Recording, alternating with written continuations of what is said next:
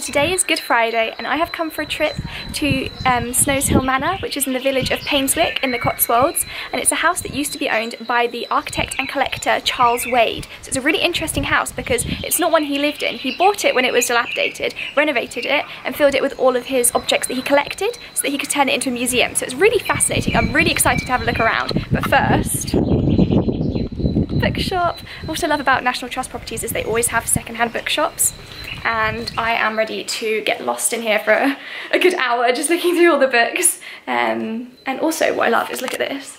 There's an original um, late 19th century letter printing press. So that's really cool, but yeah. Um, I'm just really looking forward to having a good day, but first I'm just gonna have a look at these books. How beautiful is this house? And what I love about this house is not just the house, but the view.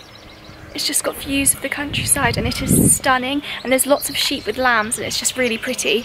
Um, and what an incredible man that he bought this dilapidated house and turned it into this.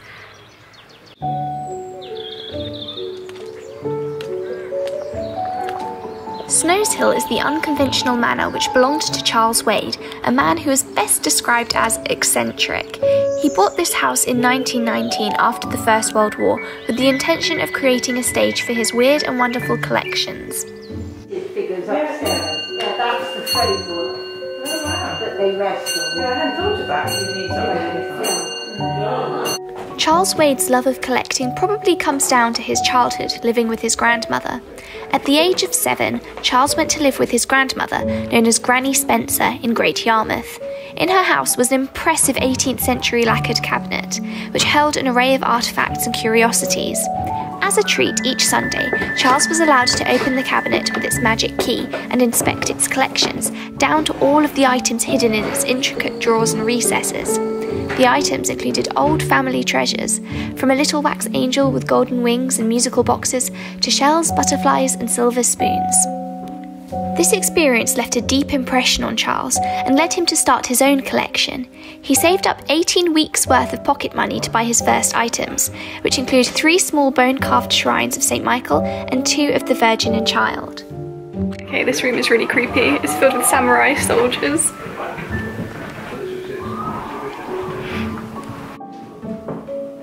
Later, he studied to qualified with the RIBA, the Royal Institute of British Architects, and worked in London. He was always naturally creative, not only in architectural design, but also in illustration, drawing, and painting. Mainly, what drew him to items were the artisanal qualities. Anything that displayed good craftsmanship, traditional methods, and attention to detail was of value to him. Charles Wade himself said, What a joy these old things are to live with, each piece made by the hand of a craftsman. Each has feeling and individuality that no machine could ever attain. When he bought Snowshill, it was a run-down Tudor manor house which came with a cottage and 14 acres of land. After intensive remodelling and restoration, he transformed the farmyard into an arts and crafts style garden and created a museum to house his collection, while he chose to live in the adjacent modest priest's house. Needed a leather bucket to. Uh, of course, such an impressive collection did not go unnoticed, and visitors to the manor during the early 20th century include the likes of J.B. Priestley, Virginia Woolf, Graham Greene, and even Queen Mary. The room that stood out to me the most is Anne's room, a name which links to the room's history. On the 13th of February in 1604, the eve of Valentine's Day, 16 year old Anne Parsons eloped with her lover Anthony Palmer in the dead of night, despite already being engaged, and they escaped together to Snowshill Manor, which was owned by one of her relatives. They tracked down a vicar to marry them in this very room, but was soon discovered by Anne's guardian, John Warne, who tracked them down in the neighbouring town of Chipping Campden, where the couple had gone after the ceremony. Anne was separated from her lover, and while some claim the marriage was annulled, others say the case was never resolved. Today, there have been many claims of a ghost of a young girl wearing a green dress which haunts Anne's room. Footsteps have been heard, as well as the sound of a girl weeping, whilst others have felt cold spots and a sudden strong sense of sadness. Since Anne spent very little time at Snowshill and didn't actually die there, it is unclear whether this is her ghost or not. Nonetheless, I was intrigued by the story which is so closely tied to the room.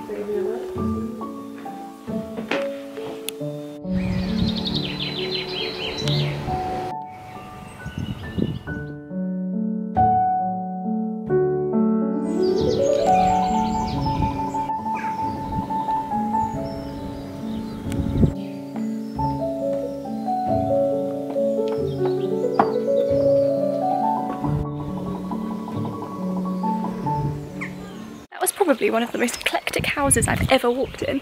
Charles Wade, the person who lived here, was a collector and he collected anything that looked handmade, um, rustic, that reminded him of the times before machinery, because this was during the early 1900s when machinery was becoming more popular. Basically, he collected anything and everything that caught his eye, so it's just such a fascinating house to walk through, and I really loved it.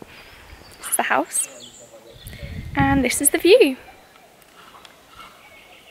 It's literally so idyllic.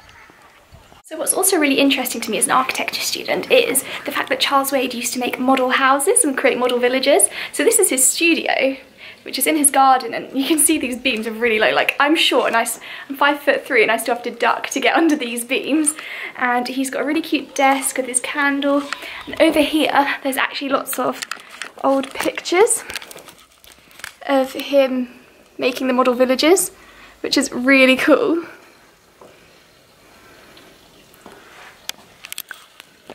And then here there's another desk and the actual houses themselves. How cool are these? I need to hold the camera up. How cool are these?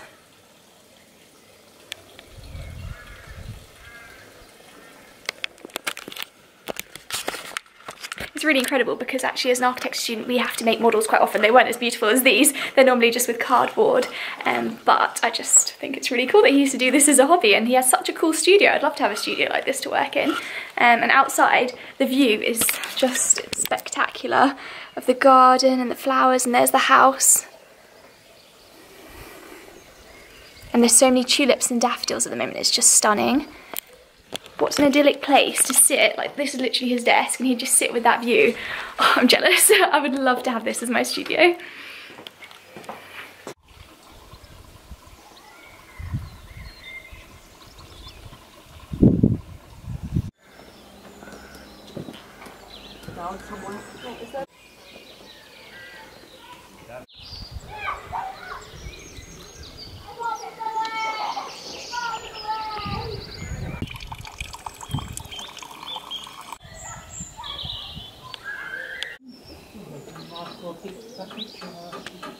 This poop can only mean one thing. Yep. it's a pigeon house. Lovely. These beautiful forget-me-nots, they're everywhere at the moment. And what I love is I think I've read that in one language they're called um, mouse ears because I don't know if it's focusing. But the little flower heads look like mouse ears. It's just really sweet. I love forget-me-nots. The colour is such a beautiful shade of blue. I might pick some later, some wild ones, because there are some wild ones near where I live to put them in a little vase because I just love forget-me-nots. And this is his vegetable patch. It's quite a good size actually, really neat and beautiful. I love it. I'd love to have one like this one day.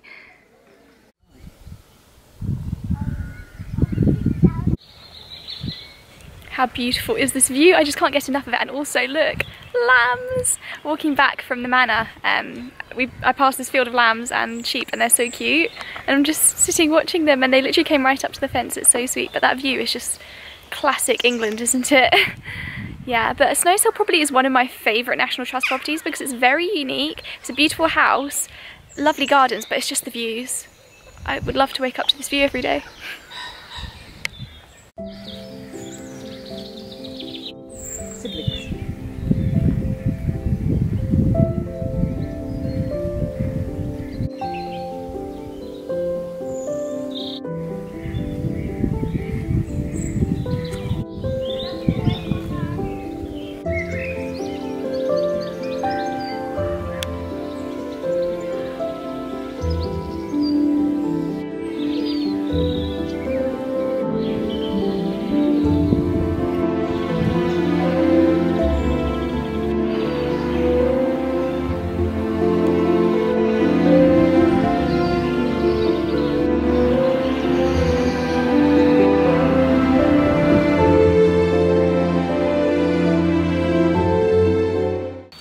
I just had a little wander around the village of Snowshill and it's really quaint. So you can see how cute the cottages are and behind me, this wall is the property that I was just in. So there's the house and this is all the gardens. So it literally backs right onto the village and there's a really cute church and a pub and it's just like a classic English village with a red telephone box as well.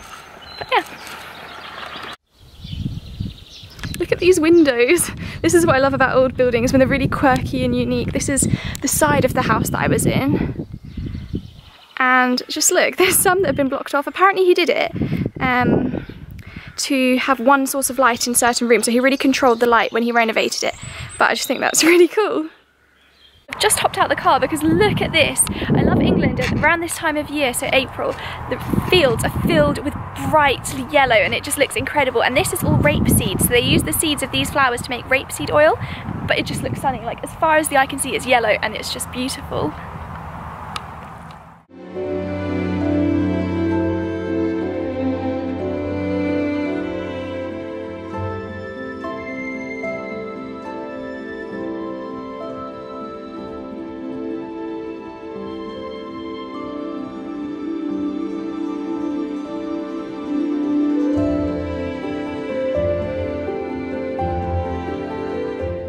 So today is Saturday.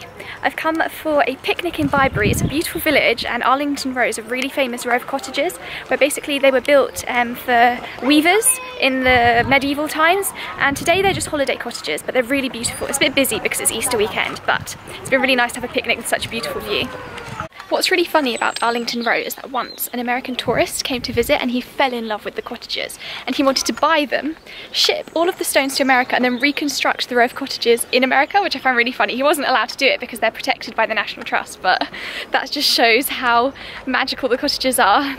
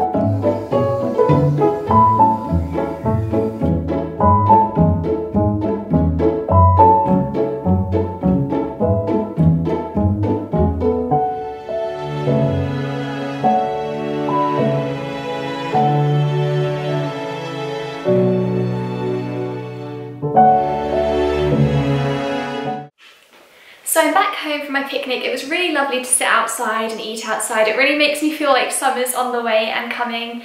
And it was very busy because obviously Easter weekend, everyone's gone out, but it was lovely nonetheless. And now I've come back home and in preparation for Easter, I'm going to bake some hot cross buns. It's my first time making hot cross buns myself. Normally we get them from the local bakery, but I thought, why not? I'm really into baking, trying out different breads and things. So why not give hot cross buns a try? For those of you who don't know what hot cross buns are, they're basically little bread rolls um, with a white cross on the top made of flour and water.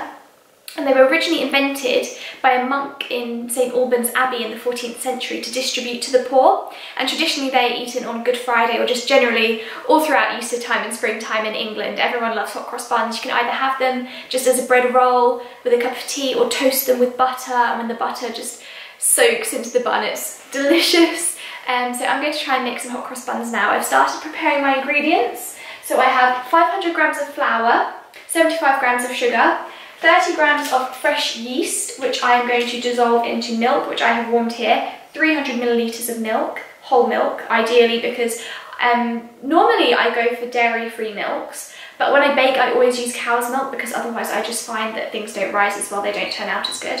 And then also um, 40 grams of melted butter. So I've got everything ready here and I'm going to start. Also, um, sorry, I nearly forgot. Um, what makes hot bun special is the spices and the raisins you put in. So I've got 200 grams of sultanas here and also some cinnamon and some mixed spice. So um, the recipe says to use two teaspoons of mixed spice and one teaspoon of um, cinnamon, but I think I'll probably put more in because I like really strongly spiced baked things, so I'll be putting more in. Um, and I believe that is all. Oh, no, I nearly forgot. Also an egg, um, one egg, but you'll see as I'm putting everything in what I do. So you start by putting all of the dry ingredients in the bowl. So I've got my 500 grams of flour,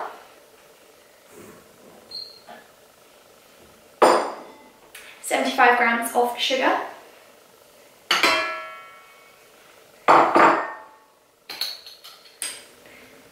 your two teaspoons of cinnamon, or if you're like me, then you can double that and put four in just because I really love cinnamon.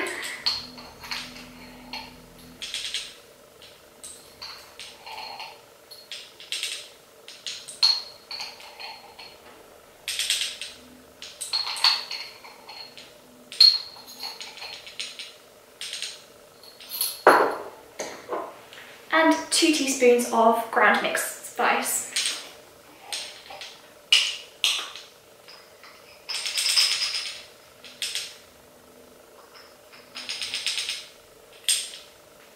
Now with a spoon, just mix together all of the dry ingredients in the bowl.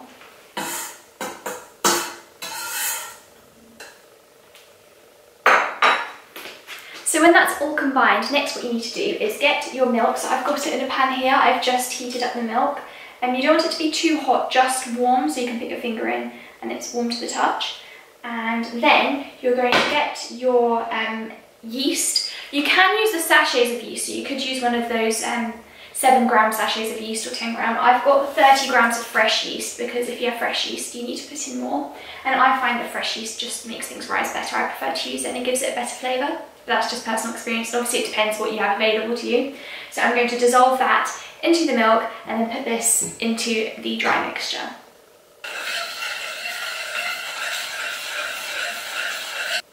Okay, so now that the yeast is fully dissolved in the milk, and um, you'll know just when you mix it there'll be no more lumps, it'll be completely smooth. Then you add it to the dry mixture.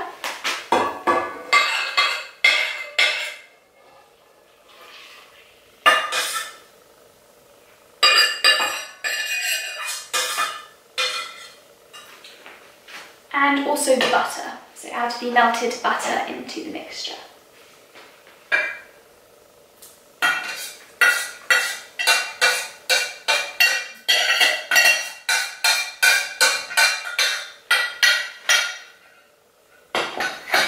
And then you can put the um, dough hook onto the KitchenAid and you can start to mix that all together.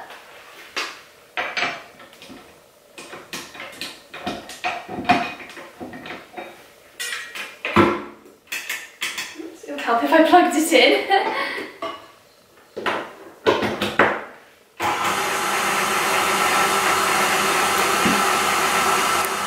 Okay, the next step is to get one egg and crack it into a jug or a bowl and to beat it so that you can add it to the, the dough.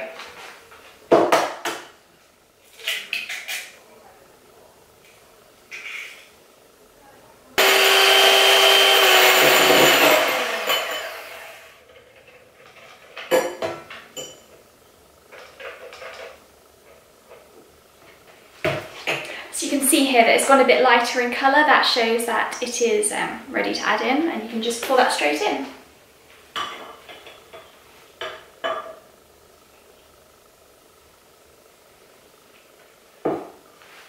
And the final thing to add is um, 10 grams of salt. So 10 grams is about the same as two teaspoons. So I'm just going to use the spoons because it's easier to put that in.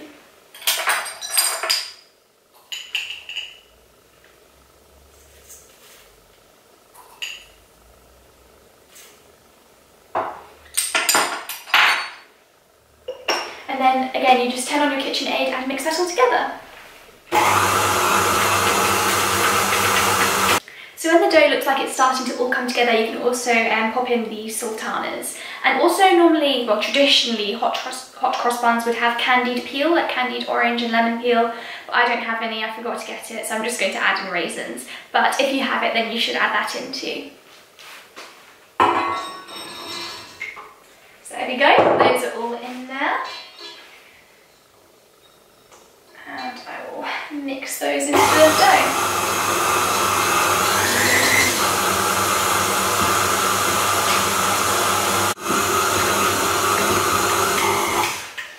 Okay, so you can see this batter here. I'll bring the camera a bit closer.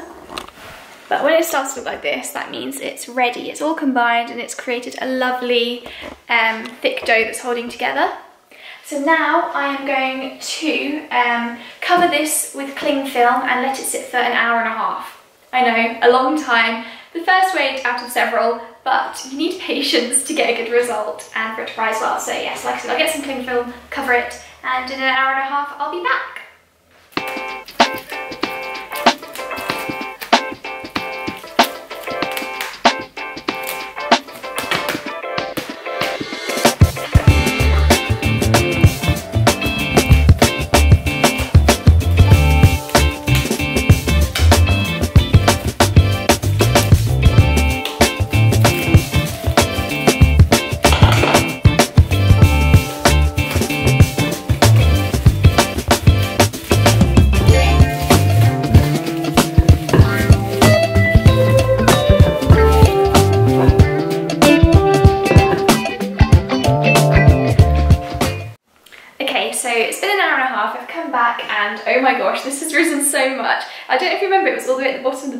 It's all the way at the top, so it's risen really well. So now um, I'm going to give it a second kneading. So I'm using Mary Berry's recipe. Mary Berry is basically the queen of baking in England. She is phenomenal and I'm using her recipe because her recipes are always really good and she said that if you let it sit, do a second kneading and then let it sit for a further hour then apparently they rise a lot better so see how it goes. I'm going to put it back under the KitchenAid.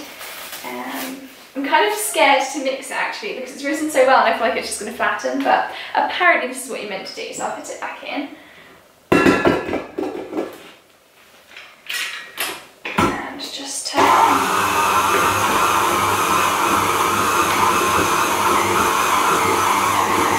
So now it's supposed to knead for five minutes and then I'll leave it for a further hour.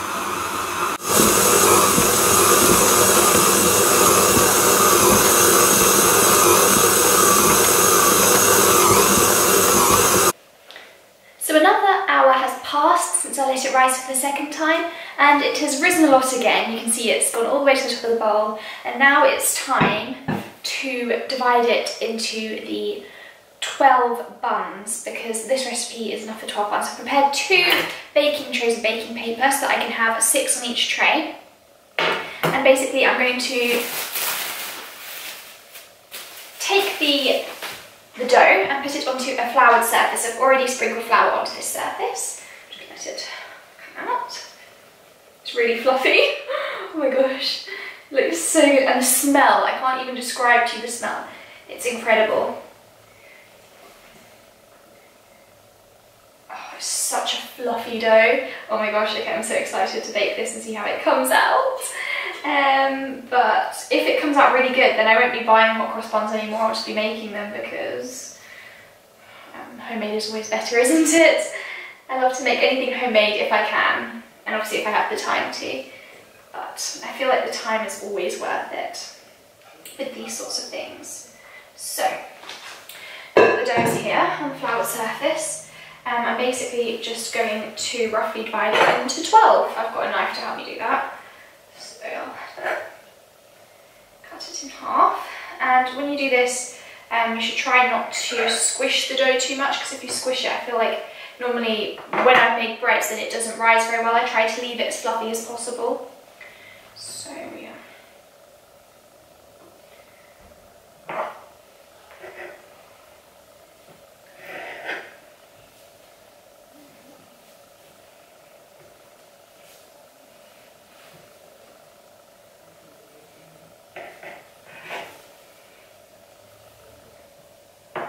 So I'm doing is basically just cutting it into twelfths and then with my hands just lightly, um, gently putting them into little ball shapes and then I'll place them onto the tray. Um, and yes, like I said, don't squish them too much. Even when you're forming them, just be very gentle and let them kind of naturally form a sphere and place them like so. I don't know if you can actually see that tray. Wait, let me, there you go. And I'm just working my way through all of this dough.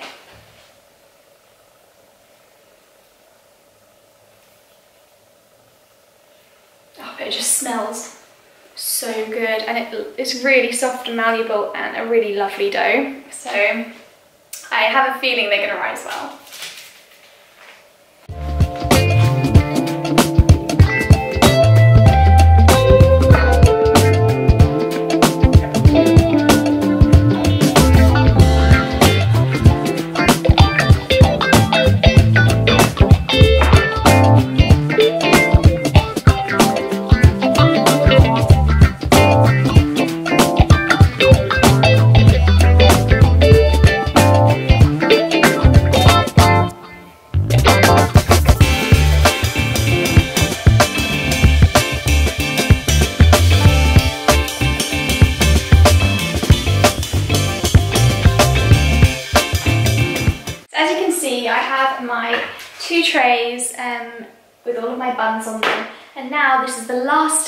To let your buns sit. So there's a third time you have to leave them to rise.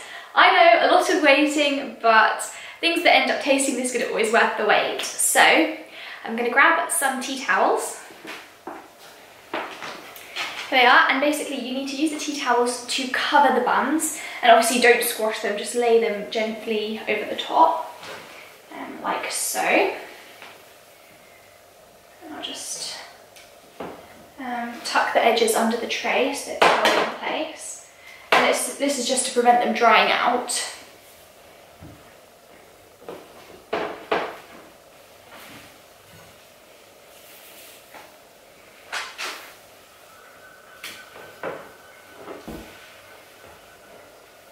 And then you need to leave them for between 40 minutes to one hour. I would lean towards an hour until the buns have grown a lot. Um, but yes, just leave them for an hour in a warm place and then you'll be ready to finally bake them. And the baking, I can assure you, doesn't take long. It only takes 15 to 20 minutes. So we're nearly there, the end is in sight. Okay, so now that my buns have been resting for an hour, it's time to put the crosses on them and then put them in the oven. So I've preheated the oven to 200 degrees Celsius for a fan oven, but otherwise it would be 220 degrees Celsius for a regular oven.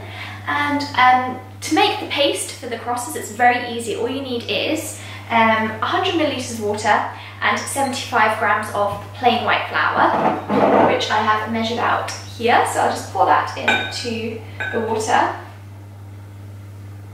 and then mix it together. So I've just grabbed my hand whisk to do that, just to make sure that the paste is really smooth and there's no lumps in it.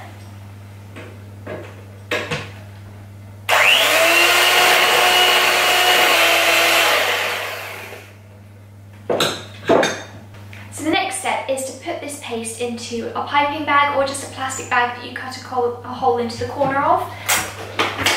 I have this um, small sandwich bag that I'm going to use. Um, I'm just going to put the paste in and then cut a hole in the corner. I think that would be good enough to just squeeze it out because I haven't got any piping bags. As you can see, I'll show you the consistency of the paste to get an idea, but it should be really thick and gloopy because when you, you want to be able to pipe um, the crosses onto the buns. So I'll just put that into the bag.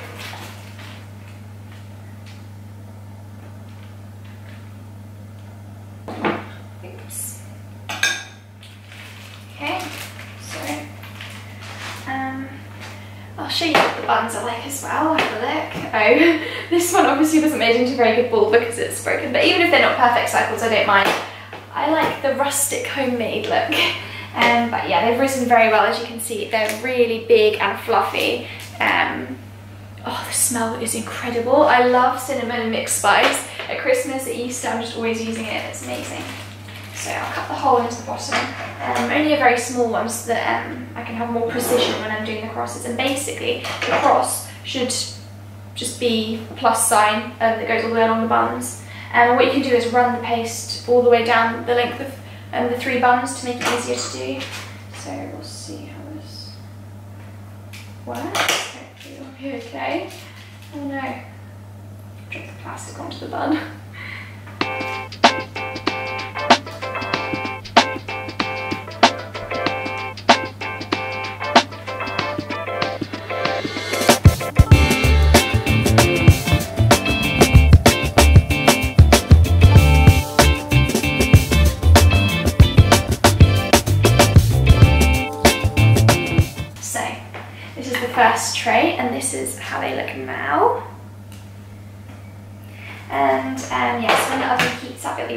in and bake for 15 to 20 minutes. I'd recommend putting it in maybe for, um, first set the timer to 15 just in case, um, because you never know how fast they're going to cook in the oven. And I would turn them around um, a few minutes before they're meant to be done, just to make sure they bake evenly.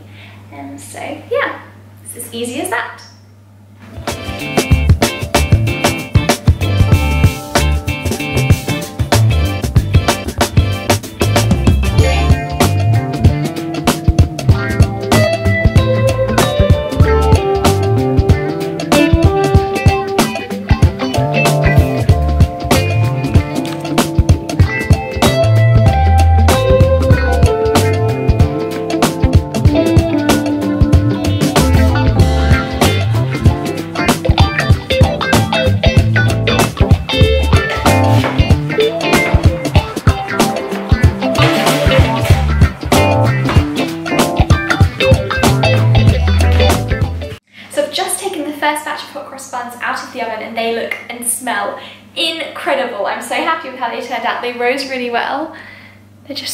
Beautiful.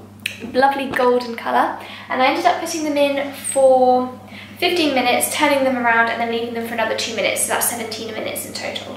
Now what I'm going to do is I've got some maple syrup here and I'm just going to glaze them. So they've just come out, they're still hot and I'm just going to um, just brush them with some maple syrup and it'll make them go lovely and shiny and give them a bit of sweetness because there isn't much sugar. Considering in all of the buns there's only 75 grams compared to 500 grams of flour, there's not actually much sugar. But the syrup glaze will just give them that little bit of sweetness and yes, like I said, make them look shiny and professional. And voila, they are finished and they are beautiful. Look how amazing. I know this one um, is a bit misshapen, but I think in general they turned out very well. I'm very happy with them. So yeah, it was a success. Well, actually, I need to taste them first, but from the way they smell, I'm pretty sure it's going to be a success. Okay, so I've taken one of the buns and I'm about to try it. I'm really looking forward to it. It's so, I don't know if you can see how, I've taken one of the misshapen ones, so it's not one of the prettiest, but it's so fluffy and soft. I don't know if you can see that, but it's literally like spongiest bread I've ever had. Okay, I'm just gonna rip it open. Oh my gosh. Oh, this looks incredible, okay. And because I love butter, I'm going to slather some butter onto here so it melts into the bread because it's still hot and fresh from the oven. okay, this is like such a big treat. I don't think there's anything better than the smell of fresh bread when it just comes out of the oven. Um, or just fresh bread in general. Or bread in general. I love bread. don't know if you can tell. um, but yeah, is like my favourite thing. Fresh bread. Okay. A little bit more because I like to be generous with my butter. And now it's time to try it. Okay, ready for the taste test? Three, two, one. Mmm.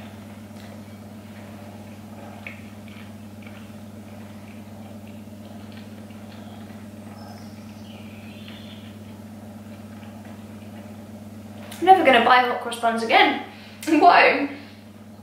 That's so good. Going in for a second bite. Mmm. Okay, you need to go and try this recipe out because it's foolproof, really easy to do, and you get the most delicious hot cross buns I've ever had. I mean, not, you know, to hype myself up or anything, but it's genuinely the best hot cross bun I've ever eaten. And yeah, so it turned out really beautifully. And yeah, I'll put the recipe link below for Mary Berry's recipe for hot buns, so you can try it out yourself. But that was really fun to make, and they are really good. So I hope you enjoyed this video. If you did, then please like it and subscribe to my channel to join me on more adventures and have a very happy Easter. Probably by the time this video is up it will already have been Easter, but I hope you had a lovely Easter and I will see you next time. Bye!